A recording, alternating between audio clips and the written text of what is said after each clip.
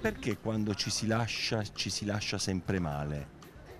È perché tutti gli amori precedenti fanno più male di un mal di denti. Lei, lei conosce delle coppie che si sono lasciate veramente male? eh? E c'è un galateo per lasciarsi bene? Lei come si è lasciato con sua moglie? Non esiste, Ci si lascia sempre male? sempre, Si litiga? sempre. Specialmente chi ha dei figli, lasciare de- dei ragazzi, dividersi per un niente sembra un- un'assurdità. L'errore che fanno i separati, quello di odiarsi, alla- cioè come nella guerra dei rosi, cioè, che errore fanno? Io penso che tutto dipenda anche dalla propria indipendenza anche finanziaria, perché questo permette a- all'uno o all'altro di vivere de- degnamente, oggi è impossibile. Io sono stato a trovare questa casa e ho comprato tutto quello che c'è dentro. Con i miei soldi è tanto più facile spenderli che farli, dolcettina! Non li avresti fatti se non era per me. Nel momento in cui questi ragazzi o questi signori si lasciano, che cosa accade? Liti pazzesche, eh? Ammuzzico, proprio. Sì, Che succede? Che succede? Eh, succede- vissuta, che cosa succede?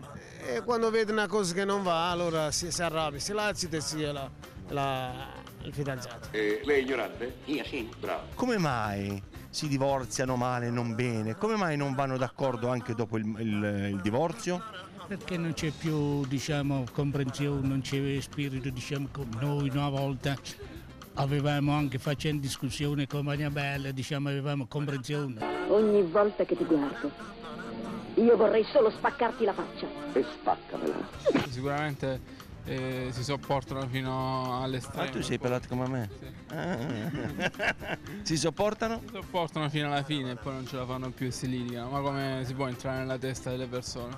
Il nome di Dio è la prima cosa che loro si devono insegnare. È Lei è un prelato?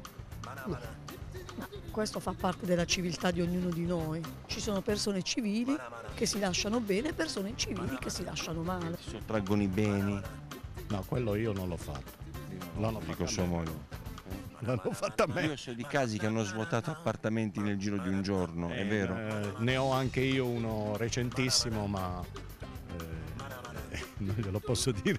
troppo male sulla faccia della terra, non si può vivere Allora, qual è la preghiera tipo per esorcizzare il lascito?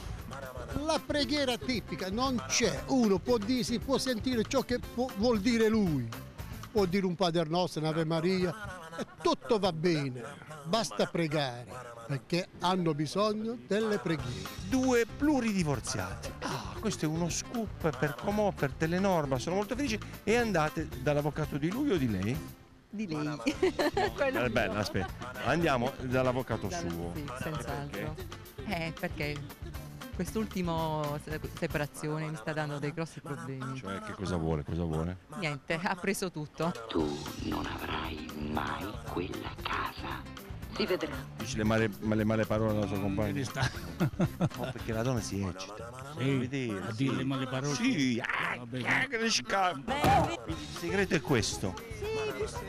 Non ci sono altri segreti. No, no, almeno i nostri. Poi non Per esempio fare sesso fino a età inoltrata. Se ci sta, Amore no, so dove sta. Lei, lei non ce l'ha, io ce l'ho, quindi perché lei è rimasta vedova. È rimasta vedova. Però lei se e continua a fare sesso. Certo. Signora,